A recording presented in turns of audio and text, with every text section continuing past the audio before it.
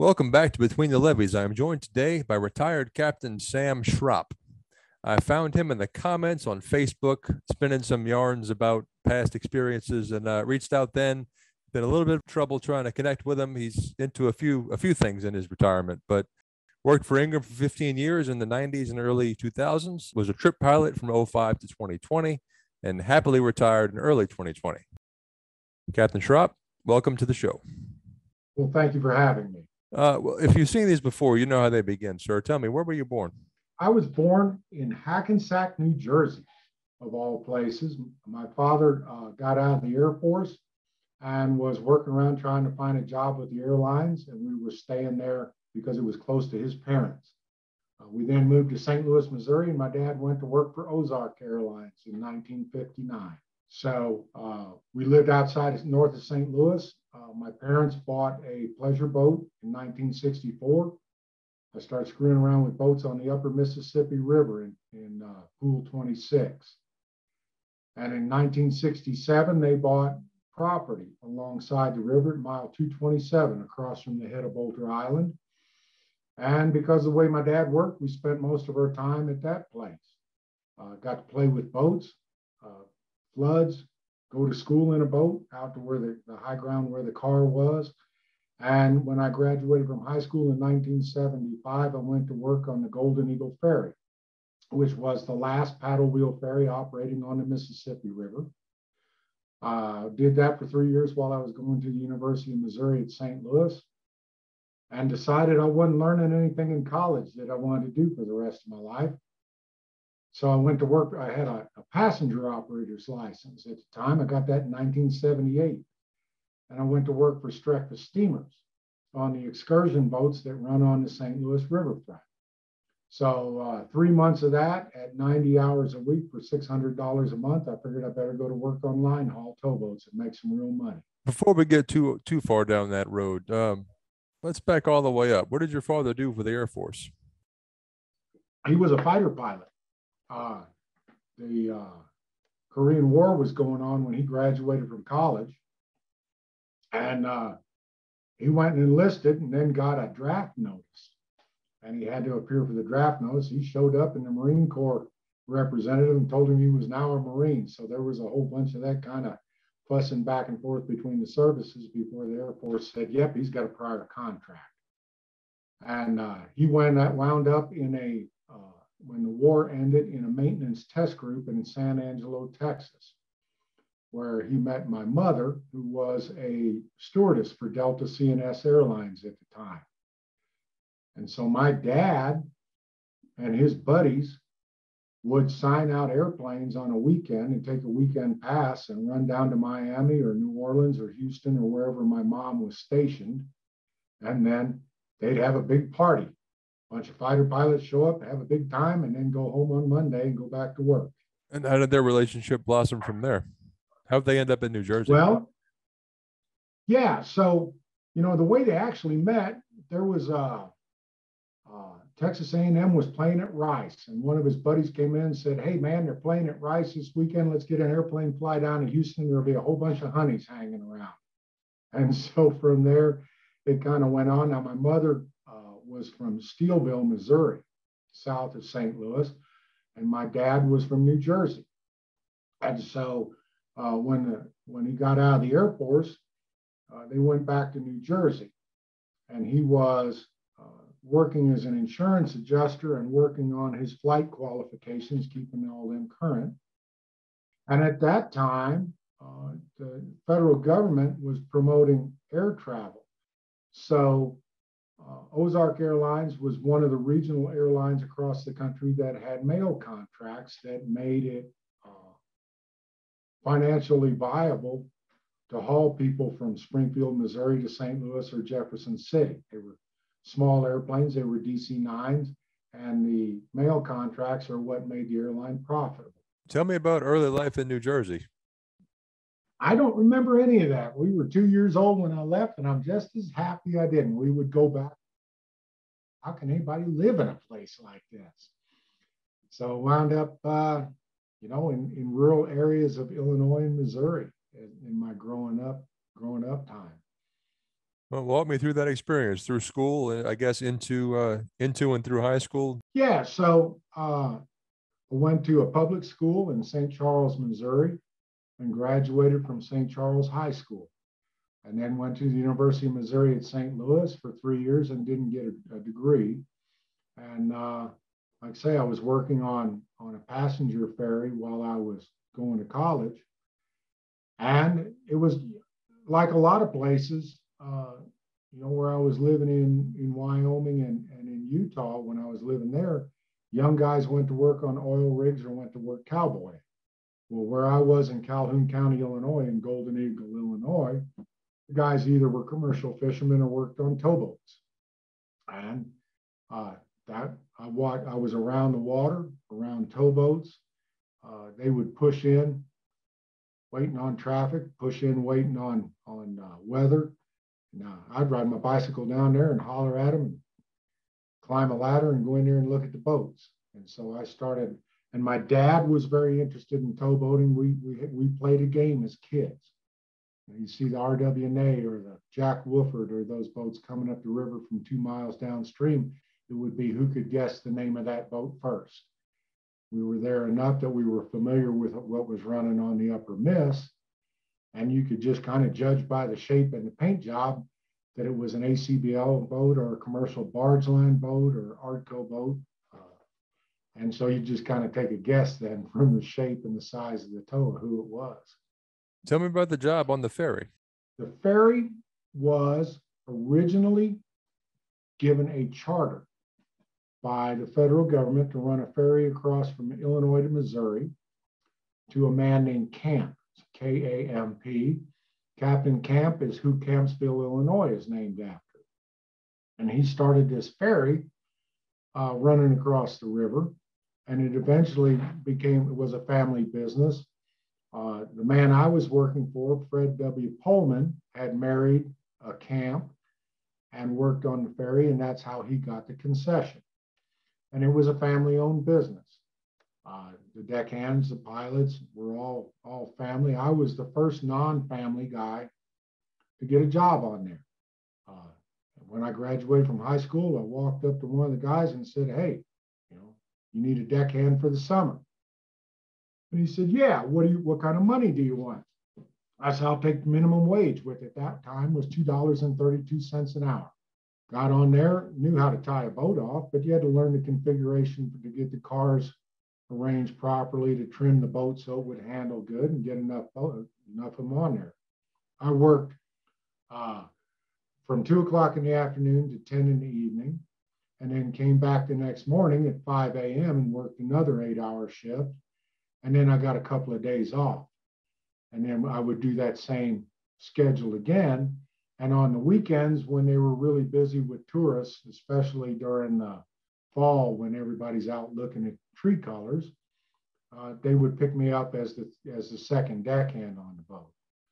So uh, I was getting a partial scholarship to go to college, and the money I was making on the ferry was making up the rest of that money. And at that time, uh, 15 hour a 15 hour semester at University of Missouri in-state tuition cost me $240. So I could make enough money working in the summer to go to college for the rest of the year. What were you studying in college? Well, I wanted to be a physical education major. I was a swimmer. And my dad insisted that I be a business major. And after three years of business courses, I figured out I wasn't learning anything there that I wanted to do for the rest of my life. And uh, being 21 years old and a little bit silly. I went off looking for adventure and jumped on a line boat. What year was that, first of all? That was 1978. And in 1978, when I decided I wanted to go to work on line haul towboats, I went to the library and got the yellow pages for New Orleans and Cincinnati and Louisville and St. Louis and St. Paul. And I went through there under the listing barge lines. And I called every barge line that I found in the books and talked to them and got applications for some and got on the list for others. And the first towboat company that called me is who I went to work for. And it, it actually, uh, John Crivello, who is an old crew dispatcher name, uh, called me first from uh, Wisconsin Barge Lines. And I went down to Sunset Hills, Missouri, and interviewed with him and came back. And that very afternoon, I got a call from a crew dispatcher at Inland Oil and Transport Company asking me if I could be on a boat that night. And so missed an opportunity to work for Wisconsin, bird in the hand, and went to work, went to uh, national maintenance in October of 1978 and walked down and got on the Lady Mignon for Inland Oil and Transport Company as a green deckhand. And what was the orientation and onboarding process for that? Well, yeah. The captain looked at the other deckhand and said, Show him around, show him what he's supposed to do. And so that all worked out okay. He showed me how to make coffee and when I was supposed to go to work. And we went out and picked up a bunch of rigging and uh, left there. I guess they'd come out of the shipyard, went to uh,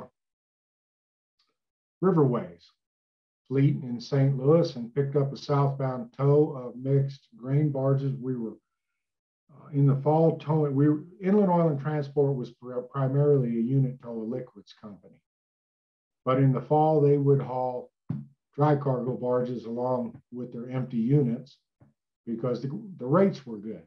So we picked up a whole bunch of SCNO barges, strapped a four-piece unit in alongside that, and headed south. And so then here's my big adventure. Boy, we're off on this big adventure. Man, I'm wandering around after I was a Jimmy Buffett fan at the time.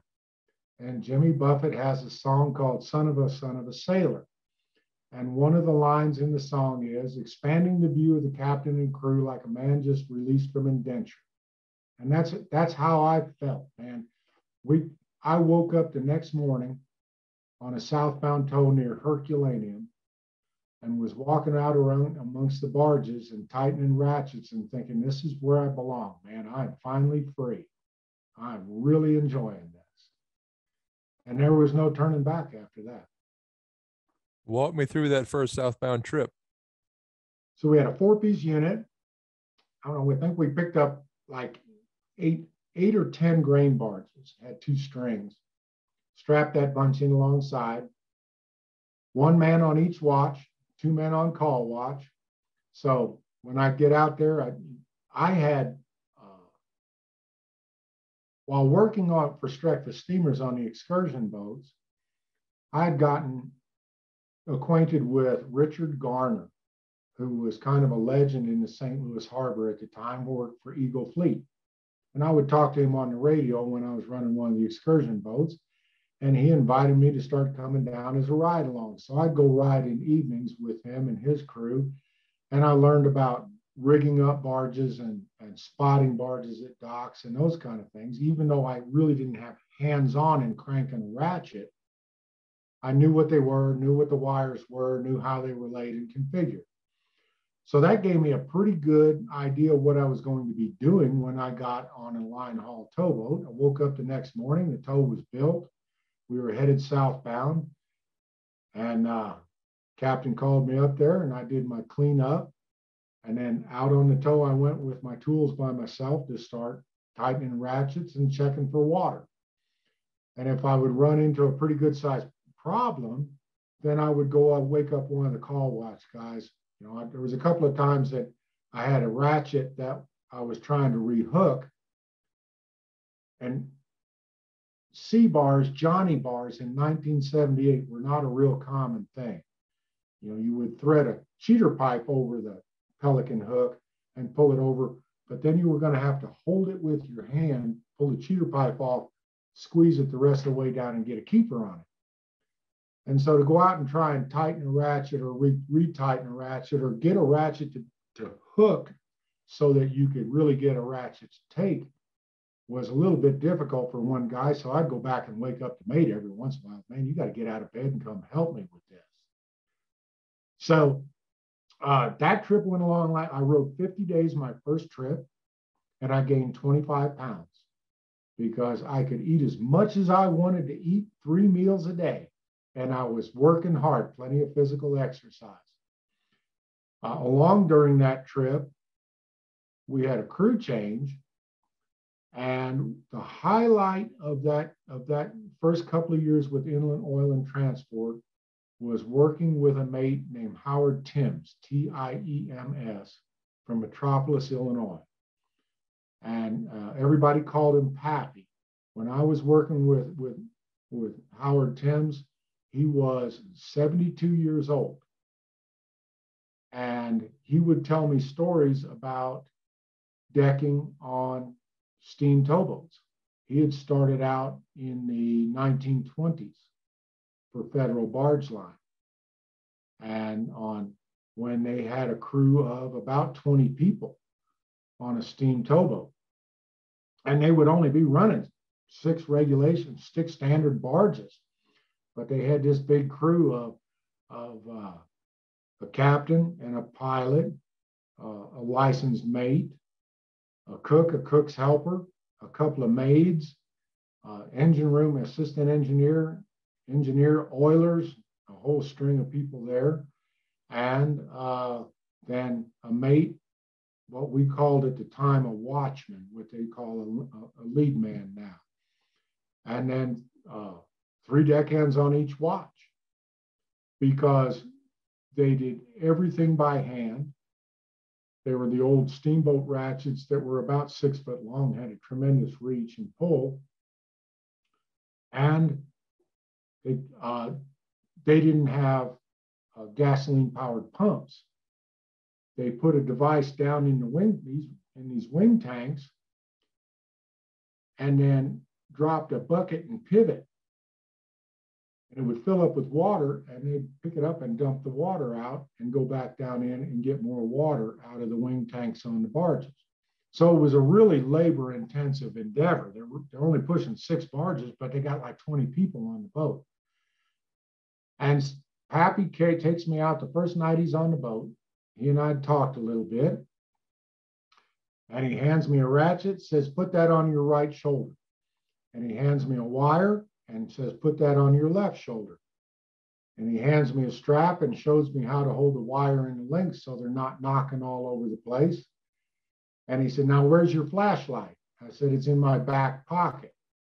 So he pulls the flashlight out of my back pocket and says, open your mouth. And when I do, he puts my flashlight in my mouth. And he says, now, when you get to be a pilot, I will know that you are one pilot that carried a full set of rigging. Follow me and we would go out across the tow and he would tell me old towboat stories. He uh, the full the whole time we were out there, he carried a, uh, a dishwashing liquid bottle of oil. And so I'd go out and he'd show me how to lay the wires. I'd hook up the ratchet. He'd squirt some oil on the threads and he said, okay, tighten that ratchet. And then he'd tell me more stories while I was tightening the ratchet. And man, I mean to tell you, this was just like a release for a kid that had never been much anywhere out of Golden Eagle, Illinois. You know, I run down through the, the Grand Tower pipeline. It's about when I was coming on watch in the morning, walked out there, and there's this pipeline at Grand Tower. And I asked the tankerman, what's that? And he explained it to me. We ran on down. I watched him flank around Grays Point, and I'm just eating this stuff up, watching all this. Uh, we went down through Memphis and we got to Memphis in the evening. So I was out checking tow and all the lights and the bright lights of Memphis, like the Little Feat song. Looking at the bright lights of Memphis coming by. And uh, we dropped the, the grain barges. Just dropped out of nowhere. Uh, I, I heard you say bright lights of Memphis. Yep, the bright lights of Memphis. And as a little aside, I live way out in the boonies now. I'm one of the uh, we're working on getting grants for some high-speed internet out here. I've got a radio tower on the mountain that beams a beam down to me here, and that's how I get my internet. So it's a little slow at times. So the bright lights of Memphis, man. I mean, I'm walking around out there. Uh, I saw a meme a while back that said, "If you can't handle me spouting random song verses, we just can't get along," because you know we're coming down on the Upper Memphis Bridge and I'm looking at all the lights and I think the bright lights of Memphis and the Commodore Hotel. I'm, I'm just, I'm, i thought, man, look at this. I'm living these songs now. So we dropped it, dropped the grain barges at Baton Rouge. and went on down to uh, IMT St. Rose and wheeled in there to start loading gasoline to take back to uh, St. Louis, to Wood River. And one of the dockmen, and I've never been out, man. I don't, I, you know, I hadn't been off the farm much. And so I'm down there amongst all these Cajun accents, and the dock man comes down, and uh, I'm the guy on watch, and the tankermen are out on tow. And he says, Do you have any community coffee? And I said, Well, yeah, I'd never, I didn't know anything about community coffee. He's, and, and this guy has got a pretty good Cajun accent. He says, Mind if I make a pot? Well, I didn't know that we were not allowed to make community coffee in that. We had a different pot for that. So I let him make co- community coffee in the pot on the Mr. Coffee. And he pours me a cup. And I thought, my God, this smells like the socks have been laying around in my locker for too long. And I tasted it and I thought, damn, this tastes like that stuff they're loading in the barges. Smells. But I acquired a taste for it. And that was just a, you know, this was just an adventure. I mean, an adventure to go listen to Cajun accents and see ships coming by and ship assist tugs and going into these monster docks. You know, IMT dock at, at St. Rose is probably 40 feet high so that they can load ships and they can still load as the river goes up and down. I've been around the upper Miss and it goes up and down, but not like the lower. One of the really things that has stuck out in my mind is we were coming down on Old LaGrange Light at Greenville. And all the old timers will know where I'm talking about and that and they've gotten it straightened out and they've built a bunch of structures that made that whole section of river from uh, from the dikes up there that always gets to be a mess up above. And, and I've been off the river so long my mind went blank but I can see them in my head. To go down into LaGrange flank around down there and come out past the mouth of the harbor and head over to Vaucluse and Spanish Moss was a big deal. And there's all these river boils popping up. And uh, I'm out there with the other deckhand, and he points at the boils coming up off of the river, off the dikes, and he says, "You see those?" And I said, "Yeah." And he says, "Those will suck you right to the bottom." He says, "If I go in the river, I'm taking this life jacket off first thing because that'll drag you right down." And I thought, man, I've been swimming in this river all my life and water skiing and stuff, and I've floated over those boils over dikes. This guy's full of crap. But there was no point in starting an argument. If you want to believe that a work vest is going to drag you under and you're going to peel out of it when you fall in the river, have at it, dude. I can't help you. So that was enough. That guy was from Arkansas. My roommate was a former rural postmaster from Mississippi. On the other watch, we had a guy that had a PhD in philosophy that wanted to come out and for adventure and see something new. So towboating at that time was a whole bunch different than this time. Some of it was really good and fun, but the best thing they ever do did was institute drug testing. Because often, you know, I, will tell guys that I started towboating in 1978, and they'll say, "Oh, the good old days." And that's well, a lot of times it was like living in a hornet's nest. These guys were going to town and drinking and they were smoking weed and there was all kinds of things going on. For a little old country boy, it was it was an eye opener. Can you share with me any especially memorable stories from Pappy? Yeah. So here's a dandy. We had so the crew change was they were decrewing another boat so they we had a crew change coming up, and Pappy came over with the crew change. Pappy forgot to load to pack his suitcase. He just picked up his suitcase and came over. Our boat left all his clothes on the Lady Marjorie.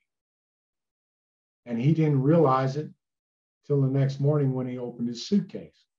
So Pappy would wear his long underwear under his coveralls while he washed his clothes. Then he would wear his clothes under his coveralls while he washed his outer clothes. until we got the rest of his clothes to catch up with him. Pappy ran, and for those who are listening from Metropolis, Illinois, Pappy ran Tiems Pool Hall, which was like a landmark in, in Metropolis. And he would tell me stories about how the police would come in wanting do you know this guy? Do you keep an eye on this guy? And he'd say, screw you, get the hell out of here. And so he was still a river rebel even when he was home. Uh, he told me a story about when he was a he, well, and one of the crew members I missed earlier was a cabin boy, and that's how Pappy got his start on the river was as a cabin boy at 14 years old. And one night, uh, down below uh, well, it was it was around the mouth of the White River.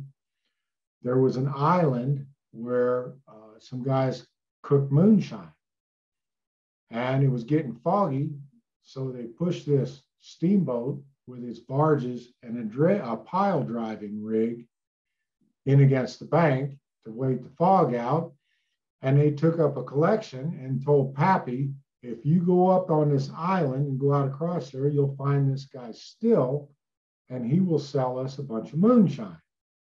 So the collection was 25 cents. He brought all his moonshine back that he'd bought for 25 cents, and they all got drunk. And as part of and along somewhere during this period of having a good time drinking, the pile driving crew decided it would be a good idea to drive pilings around the tow so that it couldn't float away from the bank and everybody could pay attention to drinking and playing cards. And the next morning, when everybody woke up and the fog had burned off, the tow was stuck in against the island with pilings driven on the outside. And federal barge line came down and fired everybody, but you know, like Pappy and the cook and the, and the cook's helpers and stuff. So that that I got a kick out of that one. I thought, well, you wouldn't you wouldn't wouldn't hear any of that or see any of that in this day and age. Certainly not. So where did your career take you next? So I went from an entry level deckhand to a tankerman, and because I already and then to a deckmate. And my purpose, my intent when I left Streckfus Steamers when I left college was to be a towboat pilot, and I already had a 100 gross ton master's, uh, 100 gross gross ton passenger license. So I had some days in and had had some days on the books with the Coast Guard. As soon as I, I got my time in, I tested for an operator of uninspected towing vessels in, in October of 1980. And I passed that test for Western Rivers and I went to uh, the River School, the original incarnation, which was run by Betty Hutto and her husband, whose first name I've forgotten, and got my inland waters license. Along about that time, I got a call from Ernie Lorenzi, who uh, was from originally from Greenville, and he was the uh, kind of the marine superintendent at Ingram at uh, Inland Oil and Transport. And he asked me if I wanted to take a job working in the office. At that time, I coming out of college and being a young guy, I had a plan. I was going to be a towboat pilot. I was going to do these things. I was going to be a port captain. And uh, that was how my career was going to go. So, in building a resume, I took that job with Inland Oil and Transport in the office. And I worked as a barge manager for them for six months, which was a very good experience because I got to attend the Coast Guard, a whole bunch of Coast Guard functions, propeller club functions, got to meet people, and then learn about repairs at the shipyard. So gas free, uh, welding, gouge and weld, taking pieces out. I would go to what at that time was National Marine and walk through with the Coast Guard rep and the National Marine representatives and laying out repairs to tank barges. Uh, I finally decided, boy, this this office stuff is not for me. I'm a boat guy, and uh, I made Saint in St. Louis, Gladder's barge line was well, Huffman and Gladder's were the other two barge lines Of course, Valley Line, Federal, and, and the Union companies were there. But uh, I was talking with, uh, with Gladders Barge Lines with Rick Bensing, who was kind of the Marine superintendent at Gladders. And I called him and said, Hey, I've got a license. Do you have a job open? And he said, Well, we don't have any steersmen. We don't have a steersman program, but are you a good boat handler? Well, ask a guy that wants to be a towboat pilot if he can run a towboat. Hell yeah, I can run a towboat. Just show me how to start it.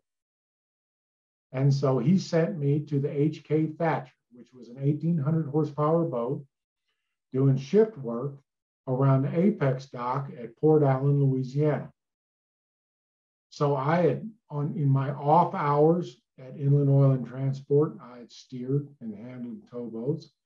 I'd grown up running small boats and cabin cruisers and houseboats and had some experience handling 200 foot excursion boats. So, heck yeah, man, I can handle a boat. Send me on down there. So I flew into Baton Rouge on Mid South Airlines at the time and went to uh, over to Port Allen, got on the boat. And a guy I had worked with at Inland Oil and Transport, Sam Williamson, was the chief engineer on this little 1800 horsepower, 85 foot long boat. And uh, first thing I did was called up Sam and said, hey, start him up, man. I need to figure out how this thing handles and how it works. And we were on the inside of the apex dock on the shore side, facing downstream. So I had to pick this boat up, turn it around, get it out from behind the dock, take it around, figure out how it works, bring it back in there, and then make a downstream landing again. Hell, I had never made a downstream landing. When I was riding along with Richard Garner at Eagle Marine, he had let me land spot barges, even land a, a five string in at one of the coal docks. Hell, I've never made a downstream landing, but I'd watched it. So let's give it a try. Uh, the next day, part of what was going on at Apex Port Allen was the guy that was the superintendent there, W.P. Jackson Jr., had decided he could save money by having us do all the line handling work for the ships that came into that dock. And for the people that run the lower, they know that line handling crews come out with a specialized boat and a specialized crew and take the bow lines out to the anchor buoys, laying along the anchor buoys. Well, they want to take me, they want me to drop in facing upstream and drop under the bow of this tanker and the crew on the tanker are going to dump their mooring lines on the stern deck of the HK Thatcher. And then I am going to take this boat and, and all of these lines up to the anchor buoys and hold it still against an anchor buoy while one of my guys steps over onto the anchor buoy and they hand the eye across so they can hook it in the buoy. We don't do things like that in 2020 or 2023, but this was 1980 and I needed a job.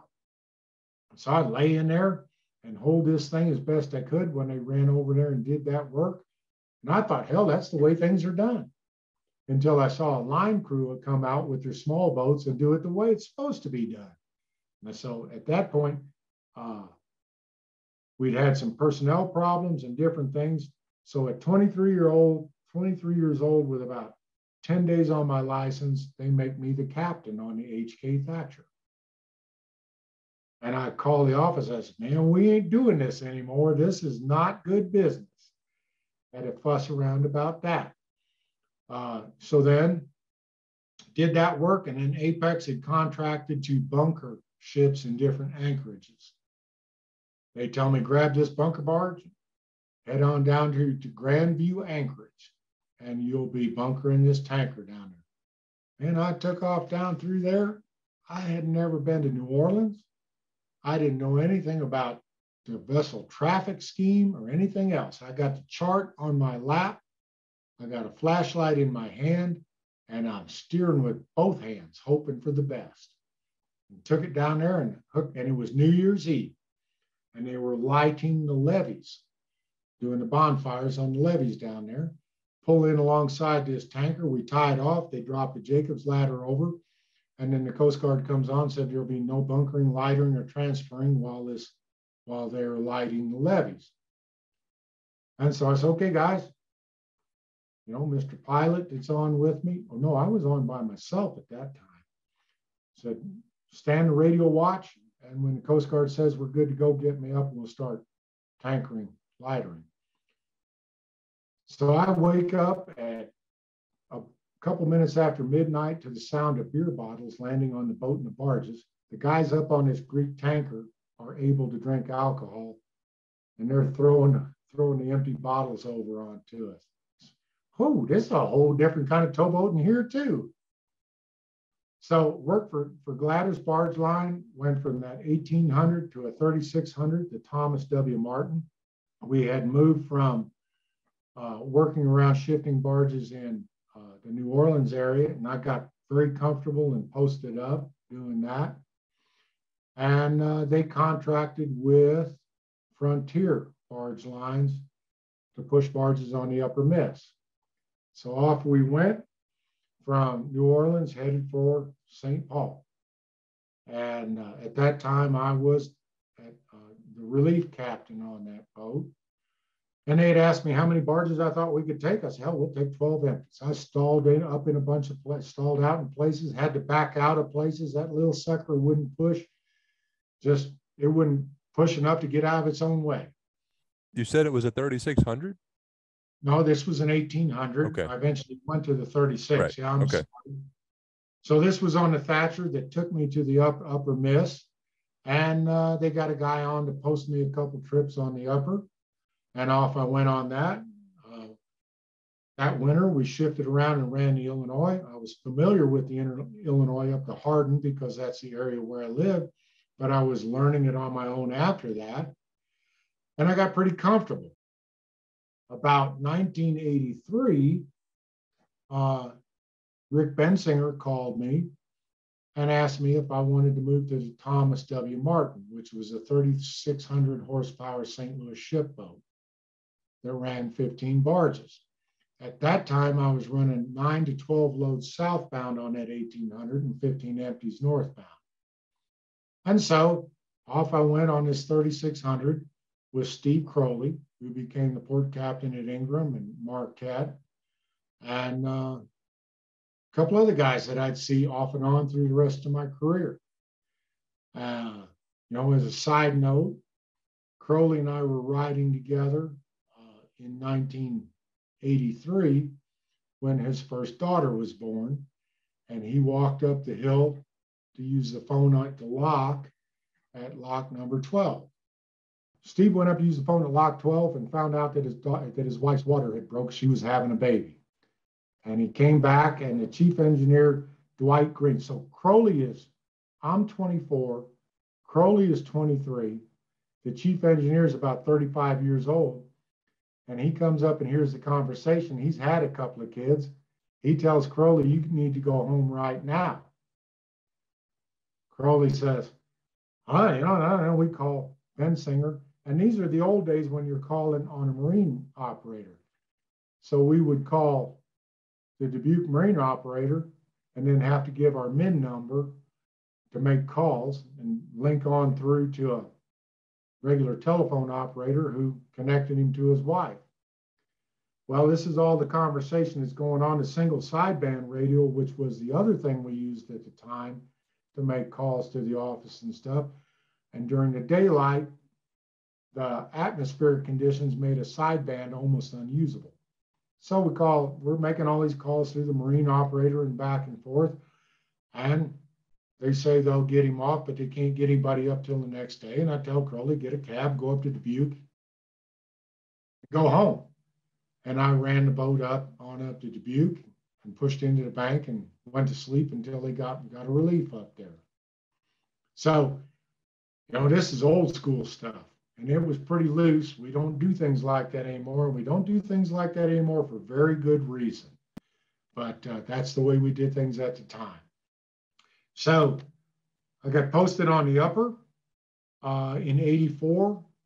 uh, Gladders had bought two boats that had been under contract with other companies, but because the economy had taken a downturn, Jimmy Carter had declared an embargo on the exports of wheat to Russia, and export coal markets were undermined by South African coal and they fell. The entire towboat industry just came almost to a standstill. They had overbuilt and the markets turned against them, and there were boats tied up all over everywhere. And Gladder's Barge Line had picked up two boats from Jeffboat, well, one from Jeffboat, one from Dravo, that were canceled contract boats. Other people saw that the markets were turning down. And uh, Gladders went ahead and picked up the contract. Time the economy turns against them and they went bankrupt. So at 24 years old, 20, yeah, 24 years old, with like three years on my license, I'm out of work with a whole lot of other pilots. I went to work for uh, Spartan Transportation. Spartan Transportation was a company who was taking all these repossessed towboats and operating for banks just to make the payments on the boats. So I went from a 3600 to the Arion which was a 6,000 horsepower jet boat running Alco engines on the upper. It's like, holy cow, I moved into the big time now. And uh, fought and struggled and scared, scared myself to death and got through that. And uh, things kind of slowed down a little bit. I went to work for uh, Scott Shotan Incorporated, another one of those companies that's not around anymore, running petroleum barges as a trip captain for them. Then got a job with an Ingram lease operator because of the way the industry was working in the economy. Ingram and Ohio River Company, a couple other companies were leasing their boats out to people, hoping to be able to run cheaper and keep their business going. So I worked for a lease operator named John Ship, who was a Ingram Barge Company guy who had taken them up on their offer of being a lease operator. The way that John Ship's lease contract ran was that we will pay you a certain amount of money to run the Bill Gee, a 28 horsepower Nashville Bridge up and down pilot house boat, and anything that's left over is yours. So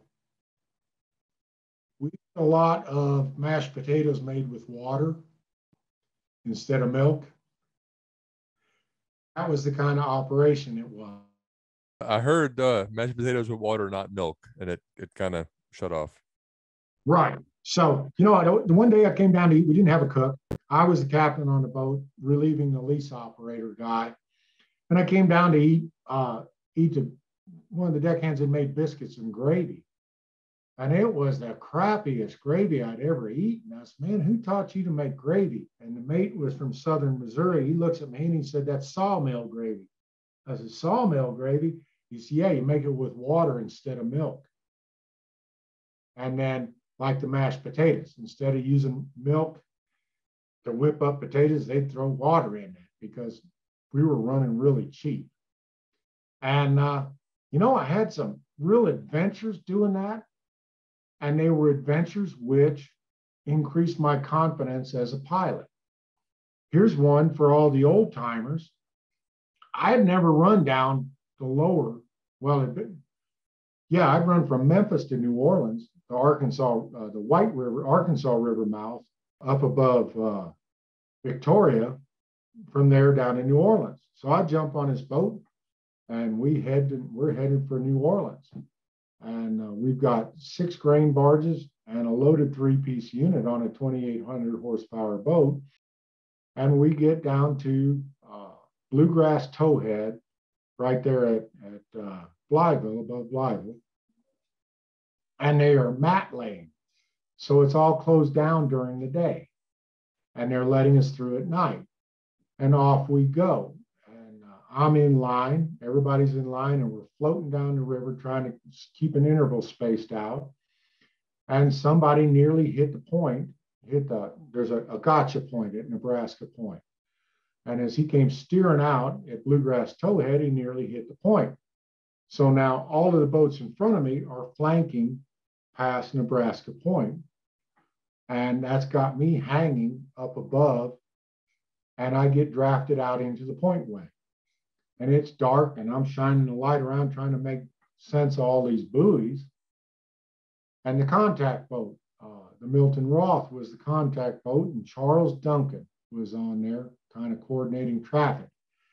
And he called me. He says, "Bill Gee, you know you're out in the in the point way.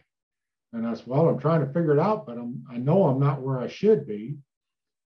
You think I can back this up out of here because it's drafting me down in. It was dra- it was a strong draft down in the point way.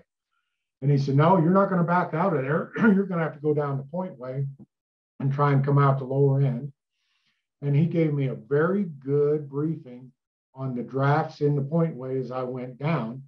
So I dropped down through there, I run past the draft, poke it down through past the draft, back up again, and I'm trying to get it to flank out the lower end of the point way, and it's not flanking. And the revetment has disappeared under the head of the tow. So I throw the flanking rudders over, get the head going, and come ahead on it, and it makes it. And I said, hoo wee, that was something. Give me another cup of coffee. Let's get on down the river. And so, you know, I, I found out that I was a good boat handler and I had plenty of nerve and I had the skill to do things to be a towboat pilot. And so, you know, the first five years of my license, you'll hear this story from everybody. I scared myself a lot in that first five years, but learned a lot and became a good pilot because of it.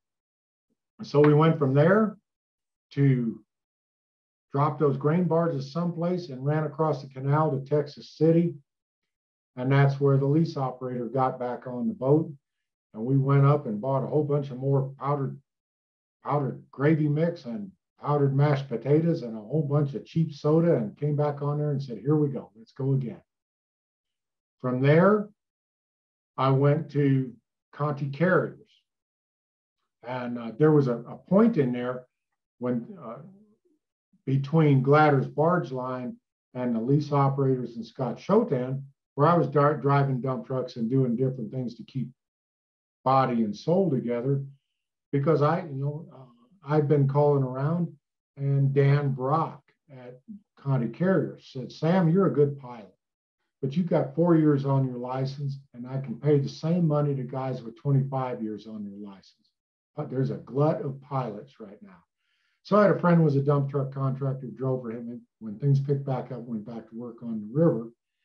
And I got to working for Conti Carriers. And the first, the first trip I caught with Conti Carriers was to get on the Conti Carla at Lock 26 with a infamous, infamous towboat pilot, uh, Yank Bouchard, Oscar Henri Bouchard, who had grown up in a French Canadian dairy farming family and had left home, rebelled left home, and was sleeping on a bench in New Orleans near Bisso, Bisso Fleet, near their salvage fleet. And one of the Bissos came down and said, Hey, you want a job? And that's how he got his start. And so went from there, ran the Conti Carla, the Conti Nan, the Conti Afton, Conti Mary, Conti Marianne, Conti Betty Lynn, Susan, ran all of those boats until Conti Carrier began cutting expenses in order to sell the company to ACBL. And I made the jump to Ingram Barge Company and started tripping for them, tripped in 89 and then into 1990 and took a regular job. BJ Reeves was the port captain, Dan Brock was the marine superintendent. And the first Ingram boat I got on was the Bill Barry, with Captain Ike Sullivan. And Captain Ike Sullivan is a justifiable legend in the towing industry. And that's where I really became a pilot. I was a good throttle and rudder guy, and I was understood boat handling. But when I worked with Ike Sullivan, I learned about how current runs and how geographic features influenced the way drafts and sets work and how to set them up. a quick story was we came out of Ike and I came out of St. Paul with 15 barges on the first trip. And I was very posted there. And I was working at flanking around Red Wing Upper. And because it was low, it wasn't dead pool, but it was not much current. So I was fiddling with the engines, trying to trying to make it flank faster. I'm a young guy without a whole lot of a lot of a lot of patience. And the door opens, and Ike comes up to the pilot house and he pours himself a cup of coffee and he sits down on the bench and he says, Have you done a lot of flanking? And I said, No, really, I haven't. And he said, Well, I'm going to tell you something about flanking. When you got it set up and it's looking pretty, leave it alone, just sit back and admire And I have thought that many times over the next 20, 30 years that when you got it flanking pretty, sit back and admire it and leave it alone. So there's a good lesson for young pilots. Be a little patient and just admire how pretty that sucker's coming around there. Explain the difference between flanking and steering. So a towboat does not turn like a car. A towboat pivots. So the stern goes one way and the bow goes the other way. Depending on the size of the tow, how the tow is configured and loaded, and how good a boat, the handling characteristics, and how good a boat it is, the pivot point will generally be about one third of the total length of the tow ahead of the tow knees. So just on most boats like St. Louis ship boats, Dravo boats, uh, Jeffboat is a little different, but those boats will pivot about 100 feet ahead of the brake coupling. So about 500 feet, somewhere between four to 500 feet out from the from the tow knees is the pivot point. So as you come down into a sharp bend with not much room, as the tow, as the boat pivots, you got to remember that the stern is going to go out into the bank you're going to wind up with the propellers dragging in the rocks. So the way to counter that is to come down into the bend straight away and slowing the tow down until you get down to current speed. And there's a bunch of different ways of judging that. They have flanking buoys, which are uh, are rubber balls, orange, big rubber orange balls tied on lines to the outboard side of the tow and you can tell how fast you are in relation to the current. But you slow the tow down, slow the tow down, slow the tow down to current speed, and you drop carefully down into the bend. Water always, any water anywhere, always runs faster to the outside of the bend than it will to the inside. So you keep the boat and the stern of the tow in the slow water, put the head of the tow down into the faster water, and the water hits the flank, the side, the flank of the tow, and will begin to around. As it pushes it around, then you adjust the speed to make this whole thing push around, leaving the boat room. Nobody's going to ground, nothing's being torn up. And you watch carefully and start bringing the tow back up towards current speed. And as you see the tow, it, then it becomes a timing maneuver. You're watching how fast the tow is swinging, and you begin to push out so that when you push out of the bend, you've got your speed up and you're going in the direction you're going. And Captain Ike Sullivan challenged me to come. He, he came up one of those little lessons that Ike always gently put on all of his young pilots that you know you've made a flank right when you come out of the flank with 10 degrees or less of rudder and you're going the direction you want to go. And so that has always been the standard that I set for my three standards for flanking. Don't wake everybody up downstairs. Don't scare yourself and come out of there with 10 degrees or less, go in the direction you want to go. And so it's a, it's something that Ike Sullivan took great pride in his ability to flank. That at the time Ike was running heavy tows on the lower miss, it is nothing like it is today. It was ragged, it was shallow. The dikes were set in funny places. You could hang the head of the tow under the dikes at Devil's Backbone and get an eddy and top around. You could hang the head in the dikes at Greenfield Bend. And you had to flank close to the dikes because the ch- channel was so narrow and there was no room. So you were flanking real close to the dikes, and if you didn't time it right, the eddies turning off the end of the dikes would catch the head of the tow and it would quit flanking and you'd top around. And so Ike had learned to flank in a period when the lower miss was really a ragged river. And these were his, his standards. This was how he did it. And that's what he passed on to me. And so don't wake everybody up down in the boat. Don't scare yourself and come out with 10 degrees or less rudder going in the direction you want to go. That was that was his criteria. And that and I've worked every time I flanked, I would sit there and think Ike standing over my shoulder and say, okay, we're going to do this to his standards. But flanking is a skill that is a lot of fun and it's something to take great pride in. So I think you said you were with Ingram until 2005 and then tripped from 05 to 20. Yes. There any interesting stories come to mind from that last stretch before you retired? Uh, you know, a, a lot of good people.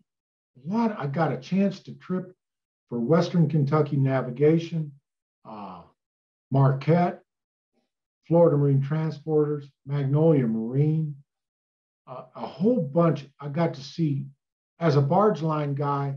You pretty much run the Ohio, the Illinois, and the Mississippi. And when I started working, say, for Magnolia Marine Transportation, and I'm running up the Tom Tombigbee Waterway in the Mobile River. I'm out to Corpus. Uh, there was one, at that time, I was living in Utah. And January, we would get 25 below at night and five below during the day for the month of January. And I'm in Corpus Christi, Texas on the Little D and it's like 70 degrees, and I'm watching the Blue Angels out practicing their aerobatics over Corpus Christi Bay, and a dolphin comes up and blows, and my wife calls on the cell phone. She said, Hey, what are you doing? As I'm sitting out on the head deck in the sunshine, watching the Blue Angels and listening to the dolphin. And she says, I don't want to hear about that. It's 15 below zero here. and so, you know, it was just such a wonderful career. I got to see so many things. I got to meet PhDs. I got to working as an expert witness. I met attorneys, met underwriters, met inspectors and surveyors, met vice presidents, CEOs of companies, deckhands.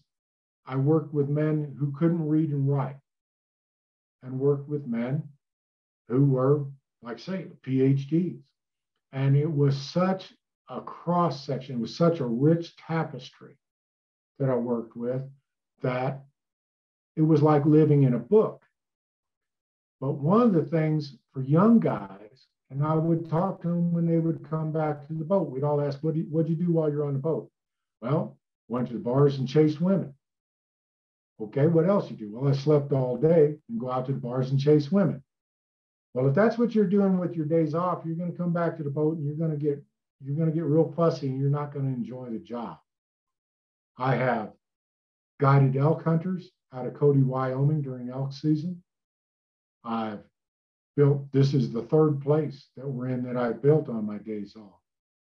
Uh, hunted in the mountains, fly fished, pack trips with horse packing, worked cattle with my neighbors. Uh, my wife and I worked for a grazing association uh, where we took care of 1,200 head of cattle on the, on the national forest in Idaho. And so not only is the boat part a rich tapestry, but the life you can have if you have some imagination in working on boats. It's really tough. It's really hard to be away from your kids for 30 days. But when you're home, your kids have you for 30 days. There's no come home from work too hard to play, too, too tired to play. And so I'm living out here in the desert in a very economically depressed area. And I refer people to towboat companies all the time. This is a job where you can live where you want to live in the country. And it's a good job, will support your families very well. And then on your days off, you can have all kinds of good experiences with your family. So it always kind of hurt me a little bit. I'd, I'd, talk to guys and they'd say, Boy, I'd, I'd tell my kids, don't be a towboater. And I'd tell them, I'd tell my kids, be a towboater.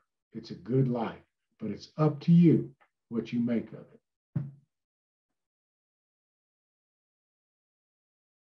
Well, Captain Schropp, I think that will do it for me, sir.